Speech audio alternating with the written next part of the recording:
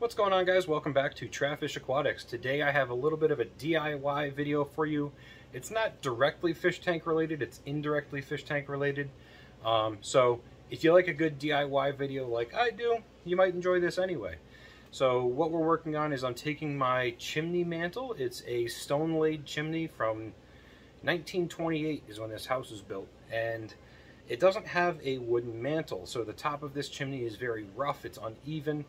Um, and when I'm talking uneven, it's about an inch unlevel from end to end. Um, so basically what we're doing is we're going to be building a wooden frame, uh, setting it on top. We're going to silicone the frame into place, and then we're going to pour concrete inside that frame to try and get a level surface.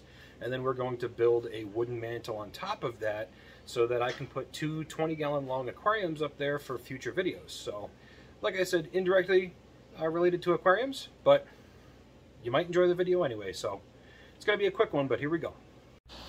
Alright guys, so if you take a look at this board real quick, you can see that it's real wavy on the bottom. It's not perfectly straight, and that was cut to contour these stones because these stones were not laid in there properly or flat at all. Um, and I had to do that in order to get it level. And then once I had the frame built, I siliconed it in place so it wouldn't move when we got ready to make and pour the concrete. So here you're going to see that we've got the concrete mixed and laid in and I've been working it around for a little bit trying to get it as flat and level as possible. Alright, so now if we take a look at this board you can see that on the right hand side we have a big gap and as we come across the board is touching in the middle right there and then over here on the left side there's another gap. So we need to find a way to contour that stone so that we can uh, get everything lined up perfectly. So we're going off this gap right here. This is inch and a half gap. So I took a three inch round. This is a lid off of a Tetra fish food. And I drilled a hole right in the middle of it. And the reason for drilling a hole in the middle of it is so that you can take a pen or a pencil or a utensil of some kind and put the tip of that right in the middle of that round so the tip sticks out. And what you're going to do with that is you're going to take it and you're going to roll it along the contour in the back. And that's going to make a perfect line in this case inch and a half out from that wall. Um, and that's going to give you your contour for cutting. So you can see I already marked it out right there. So I'm going to go ahead and cut it here. And then I left a little bit of extra material right here so that way I could make sure that I would have enough material and I wouldn't have an extra gap there um, so if we look in the back now, I've cut the contours and you can see how even that shadow is in the back there and uh, how clean that cut came out. And it looks a little wavy, but like I said, it's hand-laid chimney, so uh, that gap's a pretty consistent three quarters of an inch. So what I'm going to do now is I'm going to take the edges and I'm going to notch them out right here and on the other side to be able to slide this back in a little more. Alright, so we got those edges notched out. And uh, you can see right here we got good fitment. And there was a spot right here, it was a little over inch and a half. So I could put another board in there, but you're never going to see it. Um, but I couldn't go any further back because we'd have clearance issues with that stone right there. There's only about a quarter of an inch there. So um, you're never going to see that unless you're seven foot tall. So uh, I'm not really worried about it that much. But um, as you can see here, the final fitment is pretty clean. I mean, if you really wanted to, you could go back there with some silicone and fill that in. I'm not really worried about it, so I think I'm going to leave it as is, but overall that's a pretty clean finish if you ask me. Um, so basically what I have to do now is just get some trim, and we're going to wrap trim around the edges and the front um, to hide all of that woodwork and silicone that you see there. And uh, I actually went out and I grabbed it so that we could actually see uh, what it's going to look like. So if I can get it set up here properly, um, yeah, about like that. That's about what it's going to look like. And you can't see any of the work underneath it unless you're like three feet tall and you really get down and look up at it. But I'm actually going to paint it black up in there so you would never be able to see it anyway. Um, but overall, I think it's going to turn out really nice. I made sure my wife loved this leaf uh, print trim. It's going to match the pothos plants and all the plants in the aquariums really well. Um, she was thinking about painting those leaves green, so let me know what you guys think. Uh, I think that would be kind of interesting. Alright guys, so before we go nailing all that stuff up there, uh, what we're going to do is I've got some other materials here, so I'll go over what this is real quick. So this is stainable wood filler. Sometimes when you put your nails in, the gun or the nail uh, will do a little bit of damage to the wood, so you can fill that wood back in with this. Um, it's stainable, so it'll match the color of the wood with the stain that you put on it. So very good to have. And then once you put this on and it dries, you're going to want to sand it down. This is a 220 and 400 grit sandpaper. Um, so once you get it all filled in and sanded and it dries, we're going to come back and we are going to apply some wood finish. This is Natural 209, so this is going to look really good. Uh, essentially, this is going to look just like this or this. Both of these are a Natural 209 coloring. Um, so it's going to turn out pretty nice. Um, so once we get that on there, um, you're going to let it dry. Make sure you're wearing some gloves because uh, if stain is good at one thing, it's staining anything it touches, including skin. And you put that on with a pad or a rag or something like that. So uh, we got those pads there. And then you're going to want to do a couple coats of that, sanding in between coats. Um, so once you do that, usually I do three coats. Uh, we're going to come back through with a uh, polyurethane clear coat protectant. So uh, we'll get that on there, do a coat or two. I got two brushes, so I can do two coats. And uh, that should seal it, and usually you want to sand in between those coats as well. Um, and everything's going to come together pretty well. So we'll go ahead and we'll finish up here. Alright guys, so what I'm using here is a brad nailer, uh, 18 gauge brad nails, and if you don't know that, they're very tiny, so I'm trying to look under the shelf so I can line up where I'm shooting the uh, the nails into that uh, wooden frame that I built there. So that's why it looks like I'm holding the gun weird, and it's very awkward to handle it at this height. Um, so, but yeah, I'll show you here what the uh, the nails look like. You can see they come in little strips, real tiny. Uh, they just drop into the gun, and that's how you use those. So, once I got all those in, uh, I'll show you here pretty solid. Pretty happy with that. Um, if you look at the top, there's two different ways these nails can go in. They can either go in flush or they can drive in deep. And like this right here is a deep one, and this right here is a flush one. And there's two different things. The flush ones, uh, you're not going to be able to fill those in, so you're going to have to punch them in a little harder. Um, and the deep ones, you can use wood filler.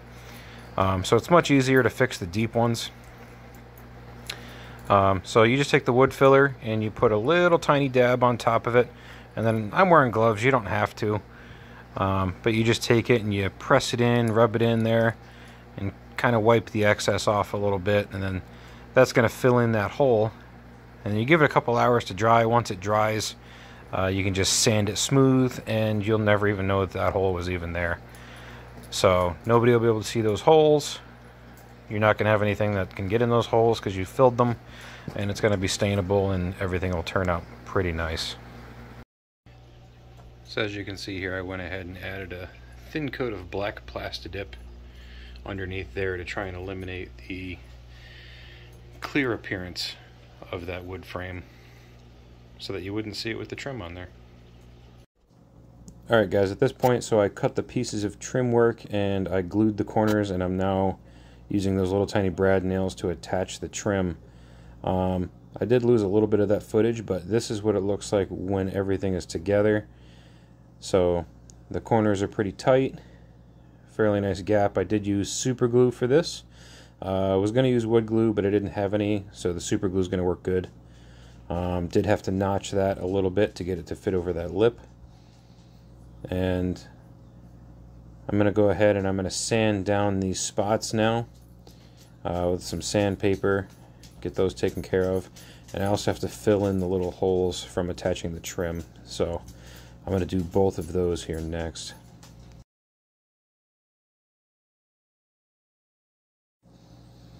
As you can see here, I'm just going to run this 400 grit paper over this real quick. Um, doesn't take a whole lot at all. The stuff's pretty soft and the excess comes right off and you can see the hole is filled in. Um, and that's pretty much going to disappear if you get a darker stain.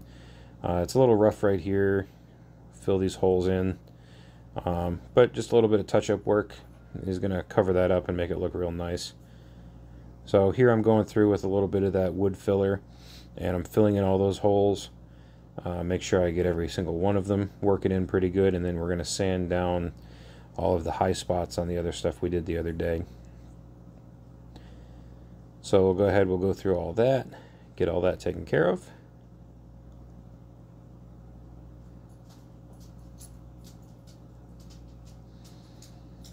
Now the ones that I did going around are already dried, so I went ahead and sanded all those down, make them nice and smooth.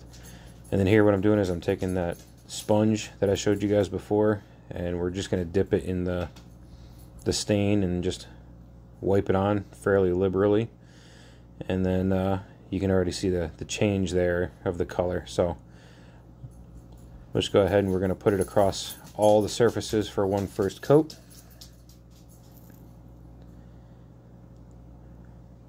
Get it around all the trim pieces. Make sure you get all the edges, get a good even coat on there. Alright, so we got our three coats of stain on, so we're going to let it dry four to six hours before we put a coat of uh, clear coat on there. So uh, these are both pine. You can kind of see this one got a little bit darker than this one, but that's okay because I wanted this to be a little bit lighter because my wife's going to come through with uh, brown paint on the vines. I'm thinking black in these dots and then green leaves. She's going to paint these after we clear coat it. And I think that's going to look really good coming all the way around. Um, I have a little bit of a picture here that we got the idea from. I'll post that so you guys can see it. But I'm just going to wait for that to dry. And then we'll get a clear coat on there. Alright, so if we get up close here, you can see that that first couple coats there is uh, is dry. So we're going to go ahead and we're going to come up behind it with some polyurethane. Uh, and this is going to seal and protect the wood from any water or anything that gets on there. And it's a pretty good idea to do that, especially since we're going to be putting aquariums up here. So we're going to go ahead and we're going to put a couple coats of this on. We'll just put one good coat on first to start. Make sure you get all the way around, get all your surfaces. Good even coat on there. Alright, so we got a good even coat on there, and we're going to let this sit up for a little while. You can still see it's a little wet. And the top actually has a very nice sheen to it. You can kind of see the reflection of the stone in it. So that's actually looking pretty good. Um, overall, pretty happy with the way it came out. I am going to take this 400 grit sandpaper and sand down the surface. Um, make it nice and smooth, remove any imperfections up here, um, and then hit it with one more coat of the polyurethane uh, to make it really shine. Alright, so the second coat's on there. It's probably about halfway dry. Um, so you can see we still got some good shine on the front here. And we got some good shine on the top there. I am probably going to hit this with one more light buff with the 400 grit sandpaper. And then probably use a little bit of furniture polish and shine that up. Make it look real nice. Um, and then we'll come through afterwards and we'll paint the little leaves and vines there. But overall, I think this came out really good. Uh, video turned out a little bit longer than I thought it was going to, but, you know, a good job takes a little bit of time, I guess. So, like I said in the beginning of the video, uh, the reason I'm doing this is inadvertently for aquarium stand.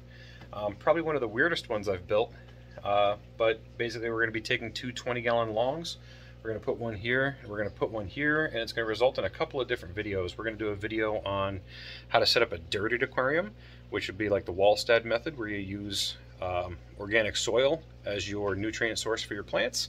So I'll show you guys how to set one of those up the right way and make sure you get it flourishing really well. And then we're also going to set one up over here, but this one over here is just going to have uh, my favorite substrate, which is black diamond blasting sand, which is what's in this tank here uh, with just liquid fertilizers and root tabs.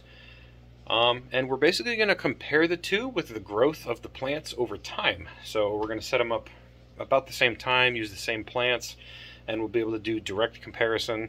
Uh, no CO2, we're just going to be doing natural uh, low-tech aquariums. Um, nothing crazy with lighting or anything like that, and I'll be able to give you guys good comparisons as things go on. So that's basically going to be some of the videos that are going to come out from that um, be able to do updates on it throughout, you know, the next couple months.